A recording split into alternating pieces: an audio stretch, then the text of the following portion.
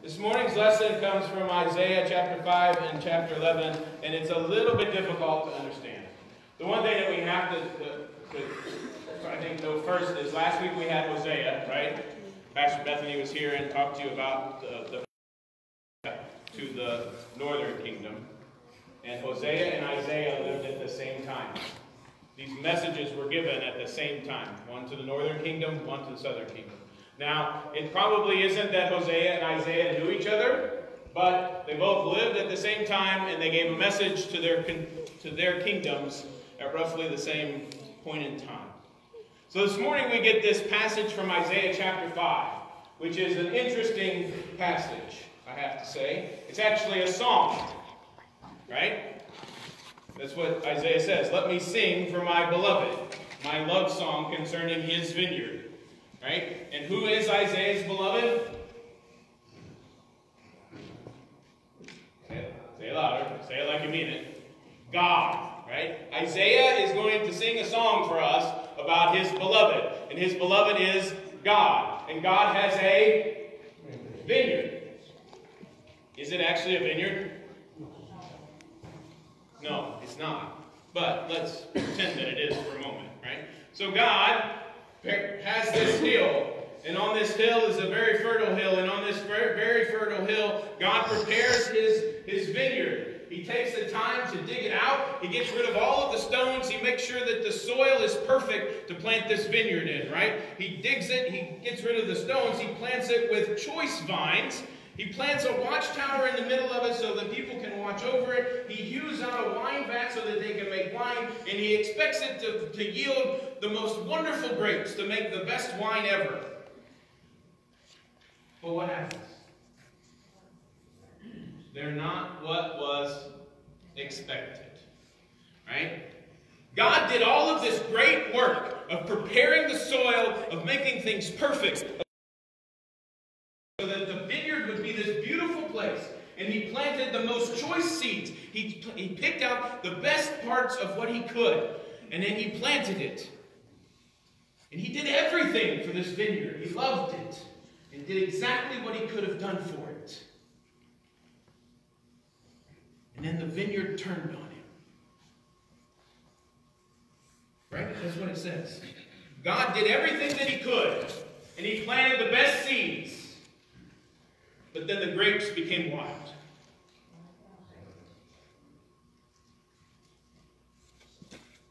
Right?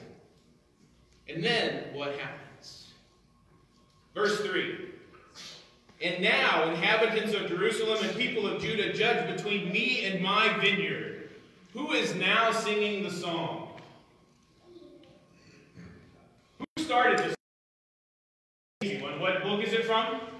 Isaiah. Isaiah started the song. I'm going to sing for you a song about my beloved and his vineyard, right? I'm going to sing for you a song about God and his vineyard. And it was uh, planted on his. I'm not going to go through all that again. The beautiful hill, and it was. I did all the great stuff. And then verse 3 And now, inhabitants of Jerusalem and people of Judah, judge between me and my vineyard. Now singing. Is. Isaiah is no longer telling us this story. God is now taking over. Right? He says, Now, you people of Jerusalem and Judah, you people of the kingdoms, tell me what has happened between me and my vineyard. Tell me what has happened here. Why are there wild grapes? Why have I done all of this stuff to get what I'm getting? And then he says, What more was there to do for my vineyard that I have not done? Right? God says to the people of the kingdom, I gave you everything. Gave you what you needed. I made the soil perfect.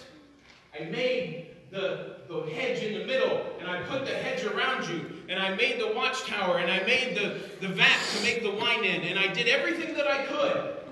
So why did you turn on me? That's what he says. And now, verse 5, God says, Now I tell you what I'm going to do. I'm not going to take care of you anymore. I'm not going to prune you. I'm not going to cut you back. I'm not going to water you. I'm not going to kill you. I'm not going to do anything. I'm actually going to even remove the hedge of protection that is around you so that you will be trampled. and you will be destroyed. The gospel of our Lord, right? The good news of God right here, right now, right? That's what this is. God says, I did everything I could for you, yet you turned your backs on me and did what you wanted on your own. So I'm not going to deal with you anymore.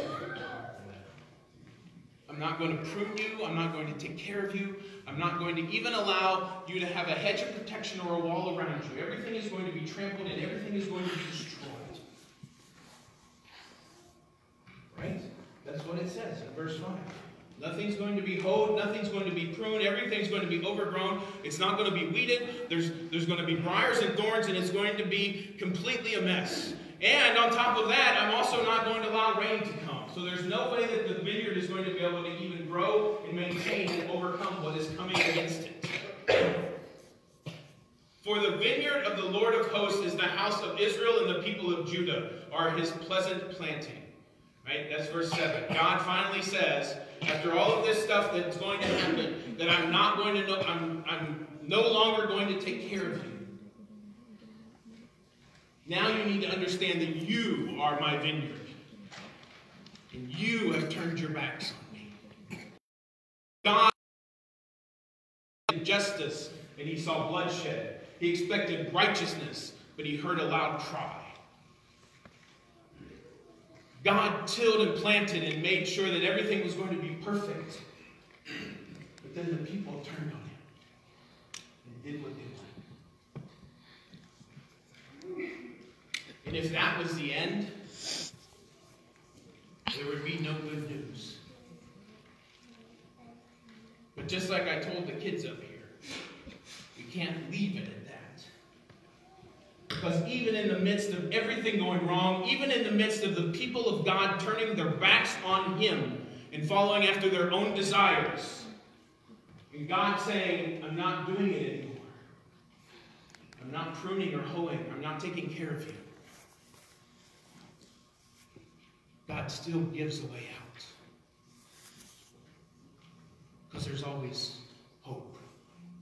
You see that shoot that comes out of the stump of Jesse? An alliteration back to chapter 5 where the vineyard is destroyed and completely left a wasteland. That there's nothing left there for anything to grow from. But yet, even out of the desolation, the shoot comes forth from the stump of Jesse. The shoot comes forth. And that shoot is because there's always hope. Right?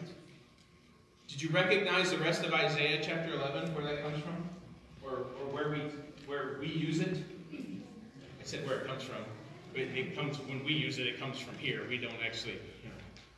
Did you get that though? The Spirit of the Lord shall rest upon the spirit of wisdom and understanding, the spirit of counsel and might, the spirit of knowledge and the fear of the Lord.